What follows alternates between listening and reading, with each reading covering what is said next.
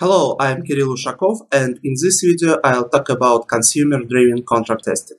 We will try to figure out what it is in a nutshell and why this can be an alternative to end-to-end -end testing. In this video we will learn some theory and in the next videos I'll show some practical cases of using consumer-driven testing with a real application based on MEAN stack. To understand the essence of consumer-driven contracts and how they help to test software, firstly, we need to take a look at the classic test pyramid. We see three levels of testing here. The first base level is unit tests. On this level we test small pieces of code that can be logically isolated.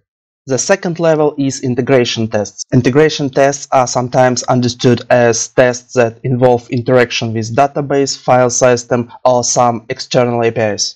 But speaking more general, integration tests determine if independently developed units of software that are parts of program flow work correctly when they are interacting with each other. And on the top of the pyramid there are end-to-end -end tests. These tests exercise most parts of the application and can go through all layers from the user interface to database as the goal is to simulate being a final user of the product.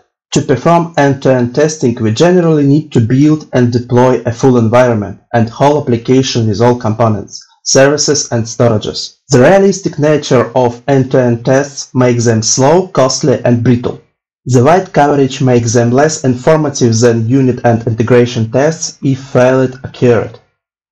You can read more about the test pyramid and its levels on Martin Fowler web resource. I'll add links under this video. For me personally, it's a very cool source of fundamental knowledge and understanding about software engineering. And I highly recommended it for any developer that wants to deep dive in theory. In the context of my project, the end-to-end -end testing will be going from web client interface through all layers of application to the database on backend.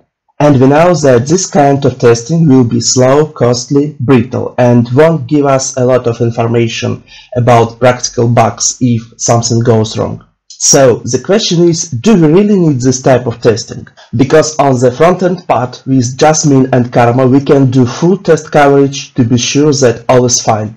And the same for the backend part that can be fully testable with Mocha. So if we are sure that all is okay with front-end and back-end with separating testing, can we be sure that these parts will work fine together? Unfortunately, we don't.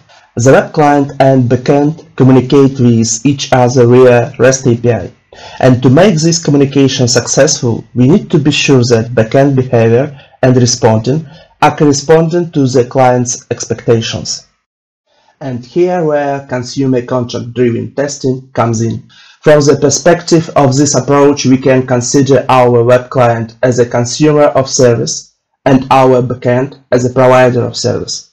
In this case, API endpoints, format of request and response, will be a contract between consumer and provider. In this picture, we can see that we are using unit testing on both sides to verify the contract is being executed. So if you know that both parts are tested with their separate test suites and the contract between them is also verified, we can be sure that the whole system will work fine. And this why we can remove end-to-end -end testing from our testing process. In the picture you can see arrows 2 and 4. This is important to understand that consumer is the creator of the contract and provider has to implement this contract. In the practical part, I'll show you how it technically can be implemented and how the contract will look. For this moment, it is important to understand that consumer needs and expectations go first. This is why we are saying consumer-driven contract, not provider-driven or something other driven. The consumer generates a contract based on its expectations and needs. Pact is a code-first tool for testing HTTP and message integrations using contract tests. It has implementations for a bunch of different languages. You can see a long list of languages that are supported by Pact. In my work, I will use Pact.js implementation of Pact for JavaScript. To be more precise, the name of the NPM package is Pact Foundation. Let's look at what the Pact is really doing on the customer side. The first thing is mocking the provider, and this allows us to perform unit testing without real communication with the backend. The mock server has to have information about requests and responses that it will need to handle. In terms of pact, the pair of request and response is called interaction. Physically, the interaction in my case will be present as a JavaScript object that needs to be added to a Mockit provider before using it in unit test. The second crucial thing that Pact is doing, it generates a contract. Physically, a contract is a JSON file with description of expected requests and responses. The main work that Pact is doing on the provider side it uses interaction descriptions from the contract to run requests against backend endpoints and compare results with contract expectations.